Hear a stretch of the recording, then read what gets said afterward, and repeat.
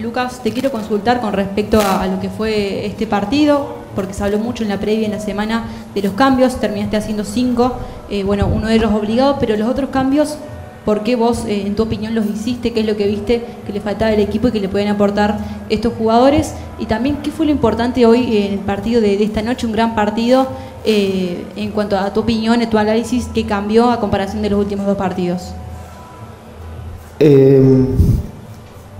Es verdad, decidimos para este partido meter mano en el equipo, algo que estaba hablado de antemano, porque teníamos una seguidilla de partidos y ya le veníamos diciendo a los jugadores que probablemente el equipo que juegue contra Platense no iba a ser el mismo que juegue contra, contra Vélez, como es muy probable que el equipo que juegue en Varela no sea el que jugó esta noche. Eh, por eso también decidimos meter mano en el equipo, para refrescarlo. Y después yo creo que la clave pasó en que el equipo entendió cómo tenía que jugar este partido, haciéndolo sentir incómodo a Vélez, no dejándole tener el circuito de juego que tiene, que es muy bueno, pero si nosotros hoy queríamos pasar una noche sin tanto sobresalto, teníamos que hacer un esfuerzo físico muy alto, en intensidad, en, eh, en estar aplicados tácticamente y la verdad que se hizo prácticamente eh, un partido perfecto en ese aspecto y creo que gran mérito de que los tres puntos hayan quedado acá fue en la disposición de todo el equipo. Lucas, ¿cómo estás aquí a tu izquierda? Marco Villara para Teis Sports. Imagino que te deja tranquilo el cambio de instituto también en lo actitudinal. Eh, ¿Volvió a ser instituto el equipo sacrificado, solidario, agresivo que pretendes? Sí, nosotros cuando jugamos con un nivel de compromiso y de intensidad altísimo todos, somos un muy buen equipo. Lo que pasó en cancha de Platense, yo le dije a los chicos que lo tomemos como una excepción, que fue un mal día, como podemos tener todos, un mal partido, donde fue generalizado el bajo rendimiento, cuando a veces a este equipo tres o cuatro jugadores no están en un buen partido, queda bien evidente, si nos pasa lo de Platense, que estuvieron la gran mayoría, quedó recontra evidente.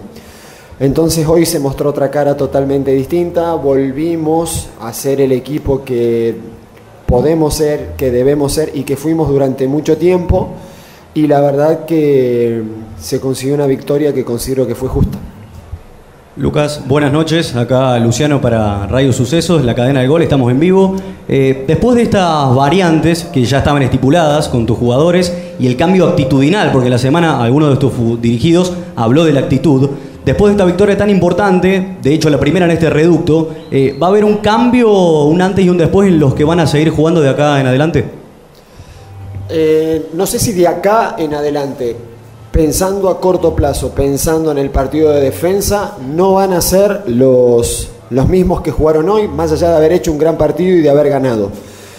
Em, cuando nos tocó perder contra Instituto, decidimos darle a los, perdón, con, con Talleres, decidimos darle a los mismos jugadores que habían iniciado la posibilidad de tener revancha contra Platense. Tuvimos lamentablemente ese día a Brian Cuellos con fiebre, entonces tuvimos que modificar horas previas al compromiso, entonces no fueron los mismos 11. Y después decidimos empezar a modificar por la seguidilla, porque si uno quiere obtener resultados distintos tiene que hacer cosas distintas, entonces al equipo había que meterle mano. Y también para que entienda este grupo de jugadores que los necesitamos a todos se nos vienen partidos seguidos, se nos viene pronto la fecha de Copa Argentina y, los vamos a necesitar. Entonces estuvo bueno que hoy jugaron algunos chicos que habitualmente no juegan y, estuvieron a la altura de lo que pedía el partido. Lucas, ¿qué tal? Buenas noches. Lautaro Gilaberte para el lector avesado y FM Libre, Pasión por el Fútbol. Recién Ricardo Gareca en conferencia de prensa dijo que ninguno de los dos equipos eh, atacaron lo suficiente o que les costó mucho generar situaciones de gol en el arco rival. ¿Coincidís en lo que dice Ricardo y en caso de que la respuesta sea sí, eh, qué cosas reverías de cara al próximo partido de defensa? Eh, sí, comparto en parte lo que dice eh, Gareca. No fue un partido donde abundaron las llegadas. Siento que las poquitas nuestras fueron en mejor calidad que las poquitas que tuvo Vélez. Nosotros el partido pasado contra Platenses nos llegaron mucho, nos habíamos convertido en un equipo que no solemos ser, un equipo vulnerable, y hoy, salvo dos remates desde lejos, Vélez no nos inquietó, no pasamos mayores sobresaltos, Jorge no tuvo el trabajo que tuvo el partido pasado donde se tiró todo el partido. Entonces siento que en ese pequeño detalle que es la calidad de las situaciones de gol y el gol, lógicamente, hacen que la victoria sea justa que haya quedado del lado de Instituto.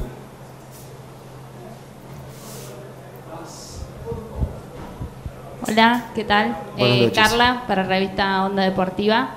Eh, quería preguntarte, Lucas, eh, ¿qué pensás del partido que se viene con Defensa y Justicia? si tenés ya algo en mente, la formación que nos podés adelantar.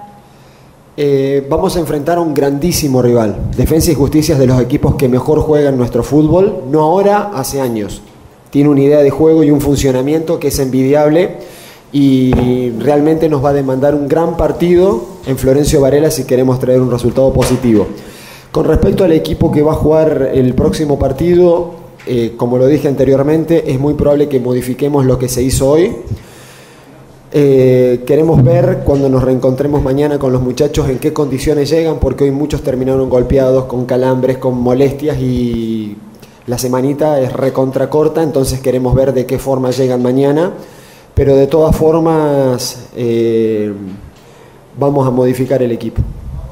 Lucas, ¿Cómo estás? Acá, Federico Borelo por última jugada. Lucas, eh, Juan Franco, eh, ¿qué le pasó? ¿Salió con una lesión, hubo una molestia? ¿Venía cumpliendo un excelente partido? ¿Cómo está él? Eh, Juan sufrió un golpe en el primer tiempo en la rodilla, solamente un golpe, y en el segundo tiempo se empezó a calambrar un gemelo que mm, podíamos sostenerlo en cancha un par de minutos más, pero no tenía sentido sostener en cancha un jugador limitado físicamente porque el partido no nos podía dar ese lujo, la verdad que no nos sobraba nada, entonces decidimos no arriesgarlo, ponerlo a Juli que estaba fresco y, preservarlo a Juan, que en teoría lo de él no sería nada de importancia. Lucas Ignacio Castellano para 351 Deportes. Eh, nada, me he quedado pensando recién con una, frase que, decía justamente Ricardo Gareca, que habló de que Instituto fue justo ganador, que habló de un instituto que juega cada partido como una final porque se está jugando la permanencia, algo que vos siempre hiciste hincapié que es el principal objetivo. Digo, hoy la actitud no se, no se negoció en ningún momento y me quedo con un jugador, con Roberto Bocci, que vos siempre lo mencionaste eh, principalmente en la primera vez nacional como uno de los referentes y esos jugadores que siempre están ahí al pie del cañón como para colaborar. Hoy volvió, más allá del gol, terminó jugando para mi gusto un partidazo. ¿Qué, análisis podrías hacer de su partido? Bueno, Roberto salió del equipo por un problema físico. Eh, teníamos en mente otro plan con él, él iba a volver antes al equipo, pero se resintió de esa lesión y, al final lo terminamos perdiendo más tiempo del que deseábamos pero la verdad que es un señor. Se bancó la situación, le tocó esperar, siempre suma, siempre apoya, siempre empuja.